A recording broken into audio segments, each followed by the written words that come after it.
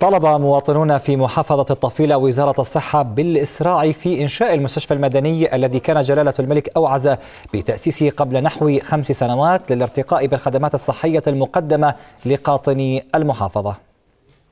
تساؤلات مستمرة يطرحها المواطنون في محافظة الطفيلة عن أسباب تأخر وزارة الصحة والجهات المعنية الأخرى بالبدء في تنفيذ أعمال إنشاء مستشفى الطفيلة المدني الذي أوعز جلالة الملك عبد الله الثاني بإنشائه خلال زيارته للمحافظة عام 2011 ليكون رديفا للمستشفى الوحيد في المحافظة وهو مستشفى الأمير زيد بن الحسين العسكري. محافظة الطفيلة بحاجة ماسة جدا لمستشفى مدني رديف للمستشفى العسكري رديف.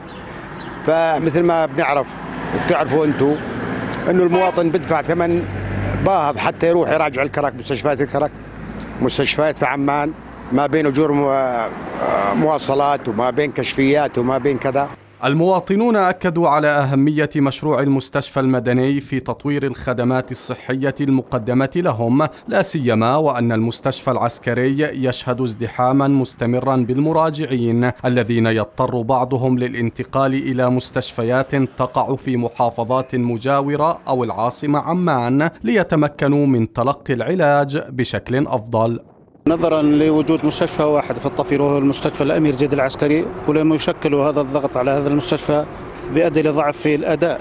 لأن لا يعقل دكتور يعالج 60 حالة إلى 80 حالة في يوم الواحد يكون على مستوى الأداء. فكان ضرورة ملحة وجود مستشفى مدني. مدير صحة الطفيلة الدكتور غازي المرايات أكد من جهته أن وزارة الأشغال العامة والإسكان بصدد طرح عطاء تنفيذ مشروع المستشفى الجديد بعد أن فرغت وزارة الصحة من إعداد تصميمات المشروع واستملاك قطعة أرض في منطقة العيس. تم استملاك آه، قطعة أرض بمساحة 31 دنم ونصف وكذلك تم طرح العطاءات عطاءات التصاميم وبسعة 150 سرير 100 سرير يعني يمكن تشغيلها آه، فورا و50 سرير احتياط.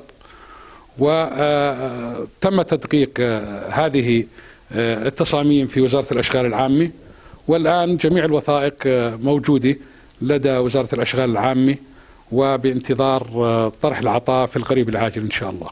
وعود مستمرة بإنشاء المستشفى يأمل المواطنون بالإسراع في تنفيذها وطي صفحة مماطلة استمرت خمس سنوات على حد تعبيرهم.